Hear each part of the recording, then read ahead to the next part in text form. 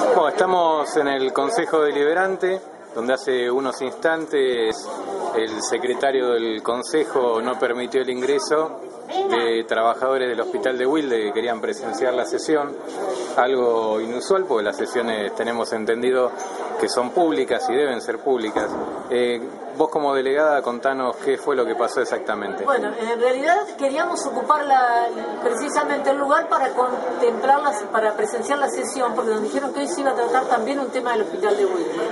Nosotros estamos preocupados porque quieren pasar el Hospital de Wilde al ámbito provincial, eso va a significar un vaciamiento del hospital porque ya vemos que los hospitales de la provincia de Buenos Aires están absolutamente desprovistos de lo, de lo esencial y por otro lado no tenemos ninguna respuesta clara, nada, por lo tanto solamente las apretadas de los funcionarios del área de recursos humanos y de salud, por lo tanto veníamos hoy porque nos habían dicho que se iba a tratar un tema en relación al traspaso del hospital de.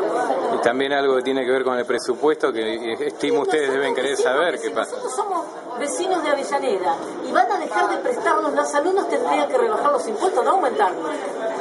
Si alguien van a, si la municipalidad no va a prestar más la salud, no va a atender más el hospital que hoy lleva 70 millones de pesos de gasto, debería bajarle la tasa municipal a los vecinos.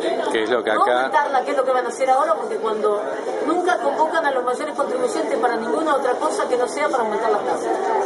Bueno, vamos a ver cómo sigue esto. Ver cómo se- nosotros queremos ver si se trata de algo Por lo- al hospital que nos dijeron que es la ordinaria que sigue. Por lo que vimos no son bien recibidos hoy.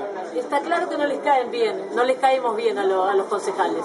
Bueno, esperemos que esto sea nada más que la decisión del secretario del Consejo y que el resto de los concejales eh, se solidaricen con esto. se trata un tema en relación al hospital.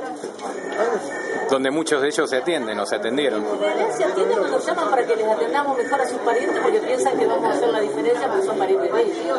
Cuando para los trabajadores del hospital los pacientes son pacientes, no importa de dónde vengan.